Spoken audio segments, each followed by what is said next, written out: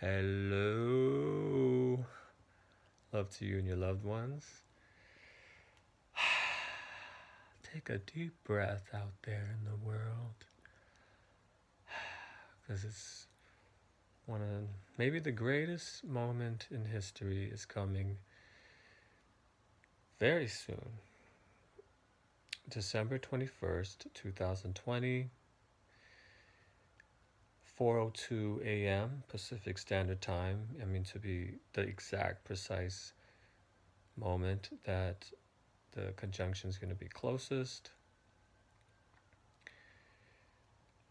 Um, this is actually, if you are to believe all this stuff, this is actually much more um, monumental than just the Great Conjunction. Speaking of, monuments have been randomly popping up everywhere, and I'm not saying that's not humans, but what do uh, Simon Parkes brought this up, which is a good point. What happens in 2001 Space Odyssey? The monolith shows up during huge uh, awakenings for humanity, right? In the movie. Um, so, anyways, besides, forget all that for now. I'm even, um, that's just a side note. The Great Conjunction, first of all, is a big deal, very powerful. You have Saturn and Jupiter going into alignment and being very close to each other, which supposedly hasn't happened in this, ha- didn't happen this closely since 1226, which is like knights in shining armor and stuff. Um, uh, so there's also, you know, great conjunctions to some degree, you know, pretty often. But okay, so let's cut to the chase. Now, why is this way more powerful than just a great conjunction? Because there's a lot of people talking about this, and I was kind of feeling this. And, you know, I've read articles a long time ago that have addressed this whole issue, which is that we're flying into, we, we've been flying into a highly charged part of the galaxy. Everything's activating. I read an article in like 2008 that even NASA, which NASA doesn't necessarily have the deepest information, but even in the NASA article, this lady was saying that she she admitted that we're flying into a highly charged part of the galaxy, maybe the photon belt where it's spinning and so there's more photons spinning on the outside, right? Like a donut. And we're flying into that. Um, pro- probably, maybe that's what it is. Regardless, she said we're flying into a highly charged part of the galaxy, and she ended the article with we should have a very interesting future. And that was in 2008 and so we're we're notice since 2012 which everyone talked about as a huge shift and people seem to laugh that nothing happened but it doesn't work like that. Like i've I've brought all this stuff up before in different videos of mine but anyway again it's a knob. It's not an on and off switch. Only your lights work like that. Nature and reality doesn't work like that. It's a knob.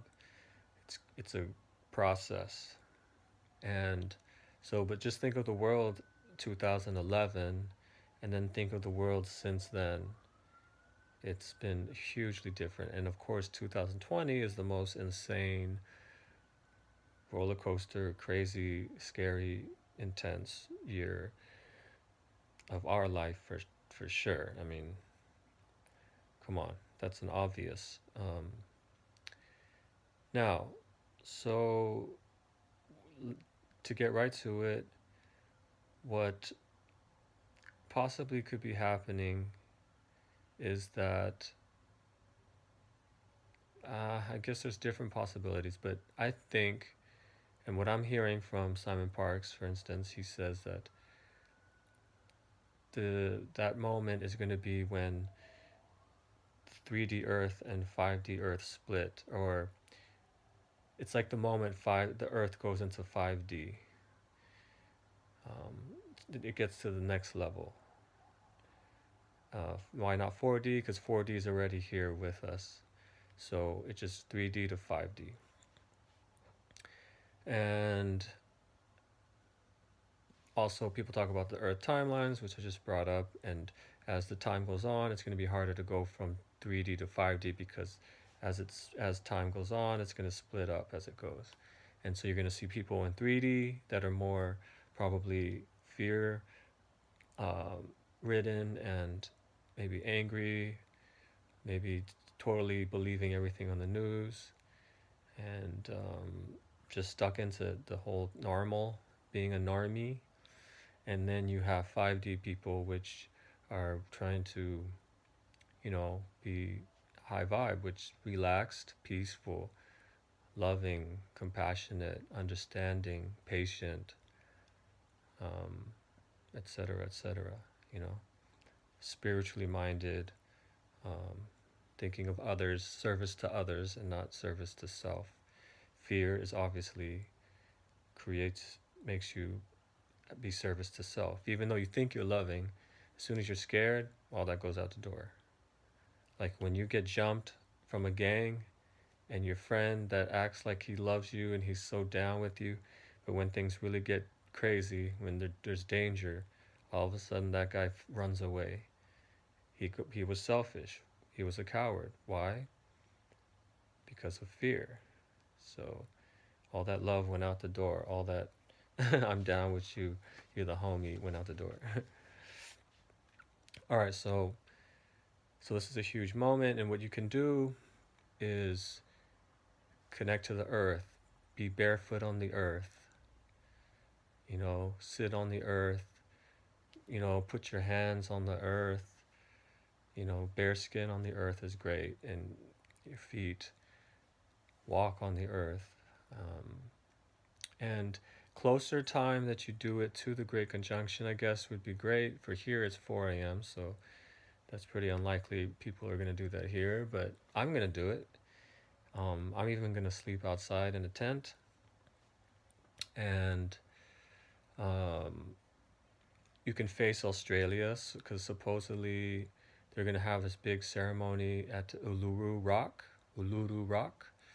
And the Aborigines, that lineage that's connected to the earth, is going to do something. And it's about bringing Earth into 5D. And so, why this is actually so important is, um, at least Simon Parkes was saying, they tried this in the past, but it, it didn't happen because there wasn't enough people that were high vibe and, you know, awake and connected to what's really important, you know, and maybe including the Earth. But, and so the Earth tried to ascend in the past, but it didn't happen. So, it's really important for us to do our best to maybe because maybe the earth won't do it because of us you know so it's important for us to be high vibe as much as possible um, at, as much as possible period because after this happens it's not like it's over it's not a switch like i said. This is just the beginning this is the portal opening you know? Then time is going to go on from there and there's still you know work to do and we need to keep staying on our high vibe. You know, stay on that high vibe horsey, ride that high vibe horsey. Relaxation, love, you know, peace, just everything that's not fear, frustration, anger, judgment. Um, um, fear, what else? Well, fear, you know, I think that's the one I didn't say. So, obviously. Now, let me get into some specifics about what's going on here. So we have Jupiter and Saturn coming together. Now, Jupiter is expansive. It's it Jupiter says yes, you know, it's it's a very expansive, it's a good vibe. It's it's a it's yes in a good way. It's Mental and spiritual growth. Um, sense of honor, goodwill, abundance, morality, gratitude, hope, honor, good luck, optimism. The bad thing about it would be blind optimism, excess, overindulgence. So, but it sounds pretty good, right? Now, Saturn is, is almost the exact opposite. Saturn says no. It's restrictive, limiting, authoritative. So, Jupiter's expansive, Saturn's constrictive, you know, and restrictive. But the good thing is it's practical. It's not considered really good luck, you know, bad luck.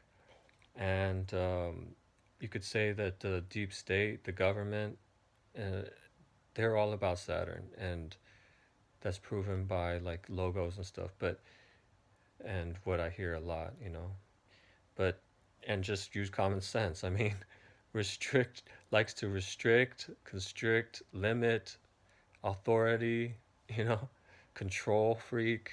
I mean, come on, that's just common sense. I mean, it's obvious. It's just out there, you know. Um, and now both, I think, one of them went into Aquarius on the 14th, and then one of them is going to go into to Aquarius the 21st, which is interesting because this whole Age of Aquarius talk. And um, Aquarius is, um, someone told me Aquarius is thoughts, air sign is, is thought actually, but Aquarius is vision, visionary, change, freedom, rebellion, more truth, new beginnings. So man, all of this together, it's it's, it's like a it's like a um, explosion. It's like Saturn and Jupiter crashing into each other, and with this Aquarius thing. So we're gonna get either. So one way you could look at it is either change in a bad way or change in a good way, right? Because Aquarius is change. So you could say change. So that's also why people don't think that um, astrology is, is real, but how come presidents are into it? How come CEOs are into it? And supposedly they're all about astrology, but they just downplay it because they use it. Same thing with magic. If you used magic on others, wouldn't it be the great great idea to say that magic doesn't exist?